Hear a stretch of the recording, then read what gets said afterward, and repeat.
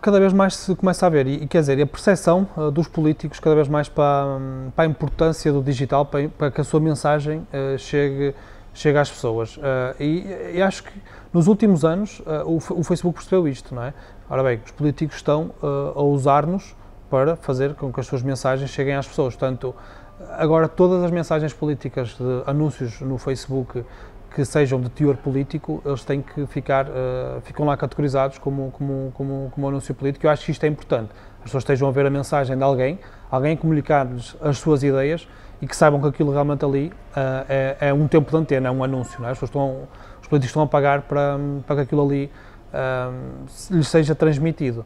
Mas se pensarmos na internet, o exemplo do Trump, não é? Há quem diga que o Trump foi eleito uh, por causa da internet. Eu também eu, eu, não seria assim tão, tão radical a esse ponto, de acreditar que foi só a internet que evangelizou as pessoas a votar uh, no Trump, mas acredito sim que uh, muita mensagem se passou de forma errada, muita mensagem política se passou de forma errada, com fake news e etc., graças, graças à internet.